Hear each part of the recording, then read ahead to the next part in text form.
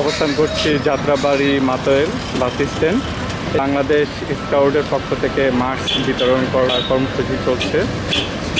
এইখানে প্রত্যেকটা রিক্সা চালক, প্যাসেঞ্জার যাদের মাস্ক নেই, তাদেরকে মাস্ক পরিয়ে বাংলাদেশের স্কাউটের পক্ষ থেকে এক বয়স্ক লোক মাস্ক পরিয়ে দিচ্ছে লকডাউনের আমাদের খুবই ভালো লাগছে।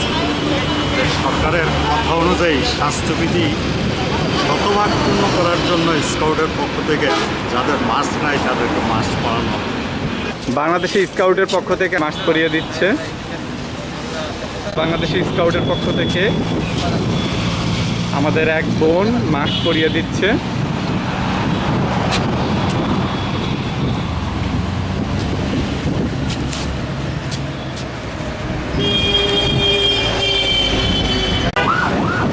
বাংলাদেশ স্কাউটের পক্ষ থেকে এক রিক্সা চালককে মাস্ক পরিয়ে দিল।